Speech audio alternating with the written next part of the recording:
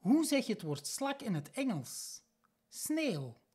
Het woord sneeuw wil dus slak zeggen in het Engels. Enkele voorbeelden.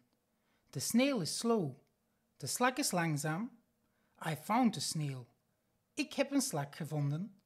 In het Engels gebruiken we snail voor het zeggen van slak. In deze video hebben we geleerd hoe je slak zegt in het Engels. Sneeuw.